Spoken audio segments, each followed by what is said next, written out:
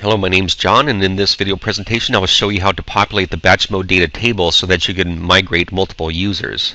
Um, in a previous video I showed you how to migrate from a single user um, from, from an email, from email system for a single user and I showed you how to also transition from the single user mode to batch migration mode and the way to do that really is to look for what's constant on the source and the target system and find out what's going to stay there and then find out also what's variable or what's going to change. What's going to change is the username here on this um, example, and maybe the name here and the password might change, and the target account would change. So I would change those items to variables.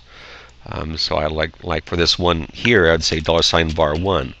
That's a variable, and that variable is defined over here on the batch mode data table. Notice this column header says dollar sign var one dollar sign var 2, etc. You have eight variables that you can define to be whatever you want. So once you know what the values are, you just enter your user information here and then substitute that on this form and now everything in that batch table will migrate. So that's how you transition from single user mode to batch mode.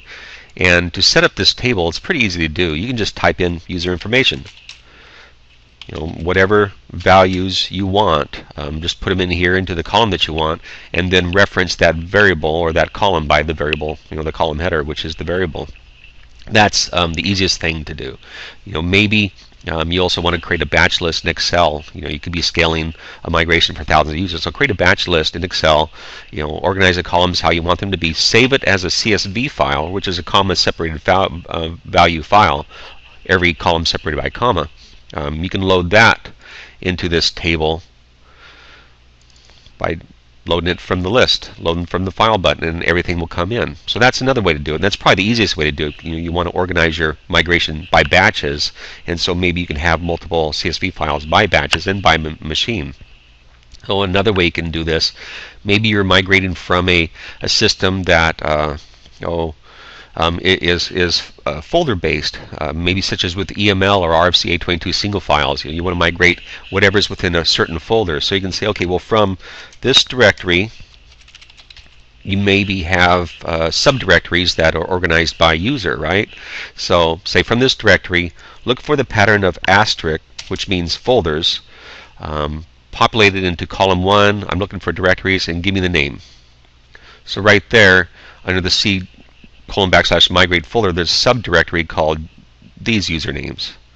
Um, you can also, of course, uh, with here you want maybe the entire path.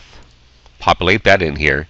And so maybe on this source side you're migrating from EML and you can say, okay, well, how about that is dollar sign var1. And so when we look at this, var1 is this path.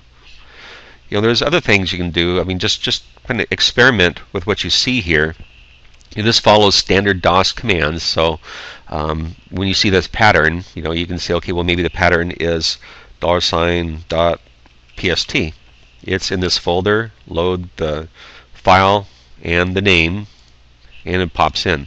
Those are various ways that you can populate the batch mode data table. It's very simple to do. We are, uh, Transend Migrator is very flexible, and you have a lot of options on, on how to do this. Um, and so, um, give it a try, uh, experiment around, and you'll find that um, uh, this will make your uh, migration and your batch migration very, very simple to do. Um, that's how you populate the batch mode data table. Thanks for watching.